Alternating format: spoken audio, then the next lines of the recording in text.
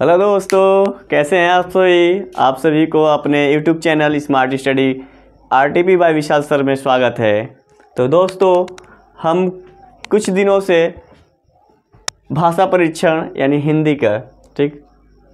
Jawahar Navodaya Vidyalaya exam 2030 23 के कर रहे हैं, जिसमें हम लोग क्या भाषा परीक्षण, हिंदी का कुछ अनुच्छेद कर रहे हैं इस समय अपठित गद्यांश, जिससे हमें बहुत काफ़ी मात्रा में क्वेश्चन देखने को मिलते हैं। तो दोस्तों, अभी हम प्रीवियस ईयर की बात करें, ठीक? तो तीन ऐसे पैसेज आए थे और हर पैसेज में, ठीक? पाँच पाँच क्वेश्चन थे, ठीक? तो दोस्तों, हम क्या करेंगे? ये जो अनुच्छेद आज जो प्रैक्टिस करेंगे, अनुच्छेद तीन है, ठीक? और अनुच्छेद दो थे जो है, हम पहले दो वीडियो में हम लोग क्या करें डिस्कस कर चुके हैं। तो दोस्तों, आज का जो पैसेज है, बहुत इंपॉर्टेंट है। ठीक, जो ये प्रीवियस ईयर प्रीवियस ईयर में आ चुका है, उसको हम क्या करेंगे? डिस्कस कर रहे हैं। तो दोस्तों पैसेज से करने पैसेज को करने से पहले, सबसे पहले हम क्या करना चाहिए हमें?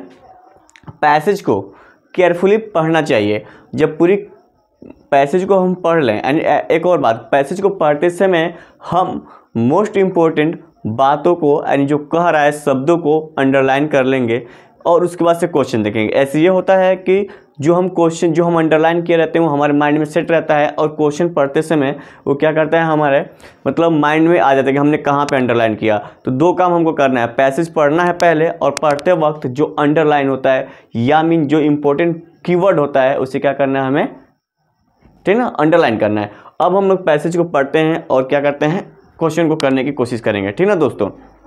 चलिए दोस्तों दोस्तों, अगर हमारी वीडियो आपको पसंद आ रही हो तो इस चैनल को सब्सक्राइब, शेयर और लाइक ज़रूर करेंगे दोस्तों। चलिए दोस्तों, अब आते हैं। ठीक, इस हम अनुच्छेद को पढ़ते हैं, पैसेज को पढ़ते हैं और देखते हैं क्या लिखा गया कह रहे एक वन में एक रहट था। रहट मीन्स दोस्तों होता है कुआँ। क्या होता है? कुआँ। ठीक, एक वन में एक रहट था। उसमें बहुत सारे मेढक रहा करते थे। कौन रहा करता था दोस्तों? मेढक। ठीक? मेढक रहा करते थे। उन मेढकों के मुखिया का नाम गंगदत्त था। मुखिया क्या नाम था? गंगदत्त था। ठीक? एक बार गंगदत्त रहट से पानी निकालने वाली टिंडो की माला, टिंडो की माला में क्या होता है? दोस्तों, अक्सर हम देखते हैं, जब कुएँ में ठीक, कुएँ से पानी निकालना होता है तो हमें बाल्टी का यूज़ करते हैं। किसका यूज़ करते हैं? बाल्टी का। एंड टिंडो की माला यानी बाल्टी को कह रहा है। बाल्टी को, ठीक ना? कह रहा है। यानी गंगदत्त रहट में पानी निकालने वाली टिंडो की माला में बैठकर कुएँ से बाहर आ गया। कहाँ से बाहर आ गया? कुएँ से बाहर आ गया, ठीक ना? यानी पानी निकालने वाली बाल्टी में वो क्या हो गया? जो मेढक था, जिसका नाम गंगदत्त था, जो मेढकों का मुख्य था, वो बाहर आ गया। ठीक ना, पानी में बैठ के, बाल्टी के साथ पानी में बैठ कर सॉरी, बाल्टी बाल्टी बाल्टी में बैठ कर पानी के साथ वो भी बाहर आ गया। आ गया ठीक? बाहर की दुनिया देखकर वो बड़ा प्रसन्न हुआ। ठीक? वह फुदक फुदक कर वन की हरियाली। कहाँ? वन की हरियाली में सैर, वन की हरियाली। बाहर की दुनिया देखकर बहुत प्रसन्न हुआ। वह फुदक फुदक कर वन की हरियाली में सैर करके बड़ा आनंद प्राप्त करने लगा, ठीक? जब वो क्या क्या जो मेढक था, जो कुएँ से बाहर आ गया, ठीक? ठीक तो वो बाहर की दुनिया को देखकर बहुत ही क्या होता है, आनंद होता है। एग्ज़ाम्पल के तौर पे दोस्तों, अगर हम लोग अपने गाँव में रहते हैं, और जैसे क्या होता है, हम लोग कहीं शहर में जाते हैं तो बड़ी बड़ी बिल्डिंगें हर मतलब बहुत बड़े अच्छे अच्छे पार्क, म्यूज़ियम देख के हमें क्या होता है, बहुत ही आनंद होता है। तो ऐसे जो गंगदत्त था, वो पहली बार, ठीक कुएँ से निकल कर बाहर आया था। जब वो पहली बार बाहर आया था तो वो बाहर की दुनिया को देख कर बहुत क्या होता था, उसको एक्साइटेड होता था, बहुत खुश हुआ करता था, ठीक? काफ़ी देर फुदकने, घूमने के बाद वह हरी घास के मैदान, हरी घास के मैदान के पास पहुँचा, ठीक? सैर करते करते उसने देखा, वहाँ एक भूख प्यास से मरियल मरियल में होता है दोस्तों, बहुत मानी, कई दिन से जिसे भोजन वोजन ना मिले। ठीक, अगर हमको भी एक दो दिन, आप लोगों को भी एक दो दिन भोजन ना मिलता है तो देखते हैं ना आप लोग कैसे, ठीक, ऐसे हो जाते हैं, ठीक ना? आप देखिए, मरियल हो रहा सांप, ठीक, पड़ा सांप को गंगदत्त ने जीवन में पहली बार देखा था, ठीक, अक्सर सी बात है, ठीक उसने उसका रंग रूप और आकार प्रकार बहुत अच्छा लगा, उसको गंगदत्त को जो था, उस सांप का आकार और प्रकार क्या देखकर बहुत ही अच्छा लगा था। अब दोस्तों, ये तो हम लोग पढ़ लिए क्या पूरा अनुच्छेद?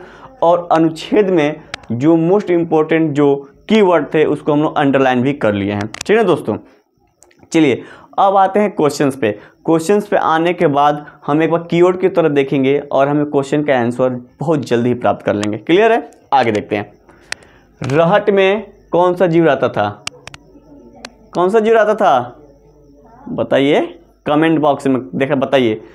बहुत उसमें बहुत सारे मेढक रहते थे। रहट में कौन सा जीव रहता था? मेढक रहते थे। ठीक, देखें कितना आसानी से उत्तर में पा लिया। मेढकों के मुखिया का क्या नाम था?